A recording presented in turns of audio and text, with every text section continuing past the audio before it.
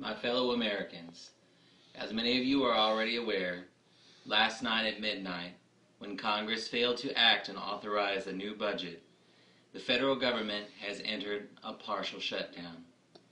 I'm here this morning to reassure you, the faithful watchers of FB Weather with Bob Clubbs, that we will carry on.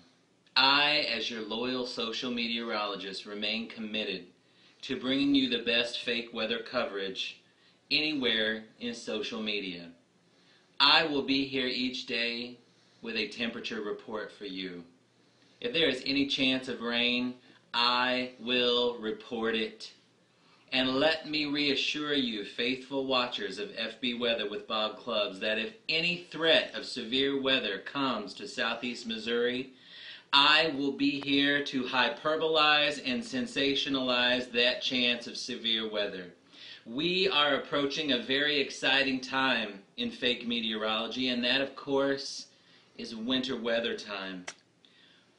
Let me tell you, ladies and gentlemen, regardless of whether the federal government remains shut down, I will never fail in my capacity as your loyal fake meteorologist. I will be here for you, ladies and gentlemen, government shutdown or no government shutdown. While we may not be able to trust those representatives that we've sent to Washington, D.C. to represent us, you can trust me to provide the best weather coverage in your Facebook feed and or your Twitters. Ladies and gentlemen, I am social meteorologist Bob Clubbs, watching the weather so you don't have to. May God bless you, and may God bless the United States of America.